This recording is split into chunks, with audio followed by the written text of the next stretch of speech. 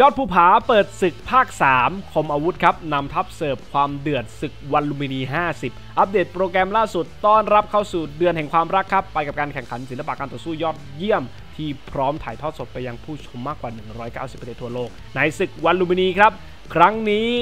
เดินทางมาถึงครั้งที่ 50 แล้วนะครับ โดยประกอบคู่แข่งสุดเดือดเต็มอิ่ม 12 คู่ พร้อมดาน้าลุยเต็มที่บนเวทีลุมินีรามินทาในวันศุกร์ที่ 2 กุมภาพันธ์นี้ครับ คู่เอกของรายการเป็นไอ้หมัดขวัญผวา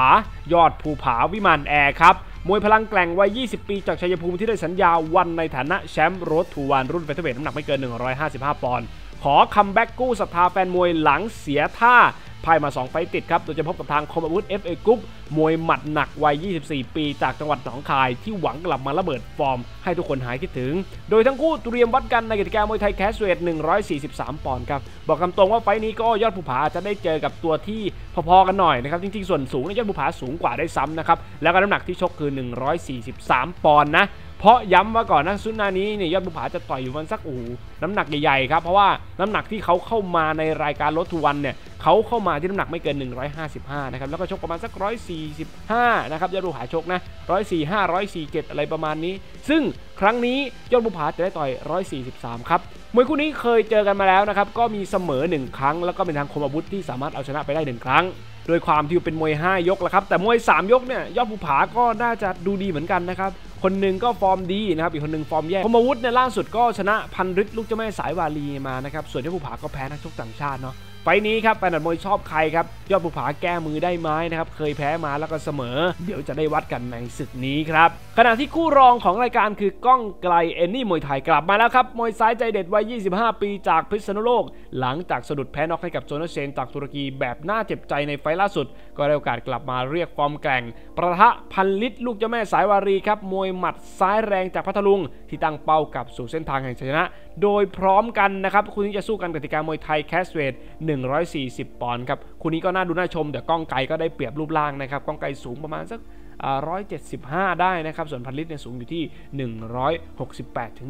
169 ครับ ส่วนคู่เอกภาคอินเตอร์ครับ เป็นมวยไทย catchweight รุ่นยักษ์ 161 ปอนด์ ริคาร์โด บาโวเจอกับทางเคนัน เบรามอฟครับก็เหมือนจะเปลี่ยนคู่มาใหม่นะครับคู่นี้ก็อายุไล่เลียงใกล้เคียงกันนะครับแล้วก็เป็นนักชกที่ต้องบอกว่าส่วนสูงเนี่ย พอๆกันเลย คู่นี้ส่วนสูงพอๆกันนะครับ คือคู่ชกของริคาร์โดบาโวเนี่ยผมไปตามดูฟอร์มมันนิดหน่อยเคนันเบรามอฟนะครับถ้าเป็นการชกแบบมาตรฐานเนี่ยชกประมาณสัก 5 fight นะครับก็ชนะ 5 fight รวด แล้วก็จะชกประมาณสักสไตล์พวกอ่ามวยที่เวทีแคบๆนะครับมวยรัสเซีย มวยโหดๆมวยดุๆมาเจอกับริคาร์โดบาโวที่ชกอยู่ใน ONE ประมาณสัก fight สอง fight แล้วแล้วก็ฟอร์มดี เดี๋ยวต้องดูกันครับว่าคู่นี้ใครจะดีกว่ากันแฟนมวยเคยเห็นฟอร์มของริคาร์โดบาโวมาแล้ว ส่วนเคนันหาดูได้ไม่ยากใน YouTube นะครับก็มีฟอร์มที่หลากหลายเลยมีต่อยกับคนไทยด้วยนะครับแล้วก็แน่นอน 5 ไฟชนะรวดมาลองดูในรายการวันจะเป็นยังไงครับไทยเจอต่างชาติมีปีใหม่มรัตนบัณฑิต แล้วก็คู่น่าสนใจ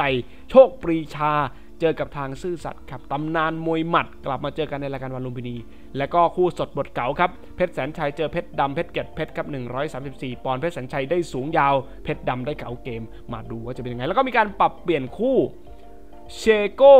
คูริอากินะครับคูริอากิโชโกอ่าพูดผิดนะครับเป็นคูริอากิโชโกชก 132 ปอนด์กับเพชรพลังชัยพอเจริญแพทย์คูริอากิเนี่ยเขาเคลนตัวเองว่าเป็นนักมวยไทยนะครับที่ชกในญี่ปุ่นนะนะครับก็มีชกกติกามวยไทยก็มีชกชุดก็มีชก kickboxing ก็มีนะครับสไตล์การชกของเขาบอกว่าเขาเป็นมวยไทยนะครับซึ่งก็มีฟอร์มให้ดูหลากหลายนะใน YouTube ครับเป็นนักชกที่มีชื่อเสียงพอสมควรสำหรับโชโกคูริอากิครับจะเจอกับทางเพชรพลังชัยพอเจริญแพทย์คู่นี้เราได้เปรียบ ส่วนสูงนะครับพอสมควรเลย แต่ว่าเรื่องของความเก่าก็ต้องไปรอดูครับว่าโชโกเนี่ยจะเร็วได้สักแค่ไหนนะครับเข้ามาเบียดตีเพชรพลังชัยได้มากไหมจะบอกเบียดตีเบียดเข้ามาชกได้ไหมนะครับเพราะว่าเขาเองก็เป็นมวย